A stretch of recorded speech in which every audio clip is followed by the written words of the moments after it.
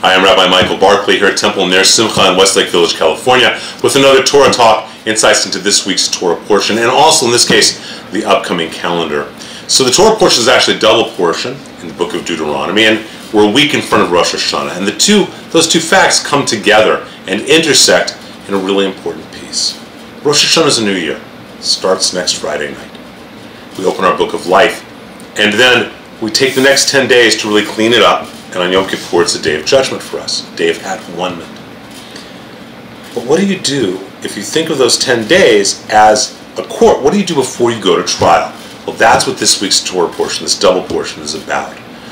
It's all about what do you do to prepare to enter a new space.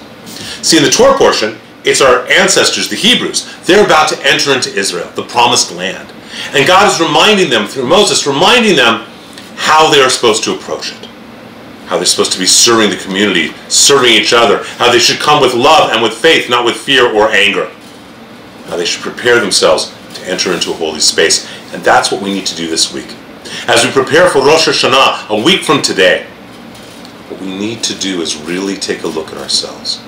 Get ourselves in the headspace of being honest and self-reflective, realizing our strengths and our weaknesses, the good things we've done, the mistakes we've done.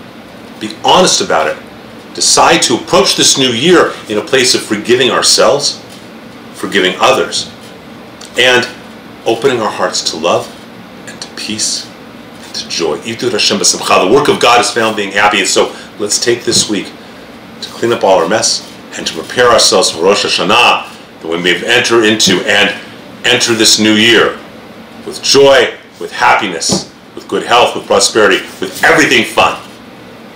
Let's take this week to do that, remembering how important threshold is. Shabbat Shalom, I'm Rabbi Michael Barclay here at Temple Ner Simcha in Westlake Village. May it be the best Shabbos ever till next week, which will be Rosh Hashanah. Shana Tova Metukah, may it be a good, sweet, and healthy new year.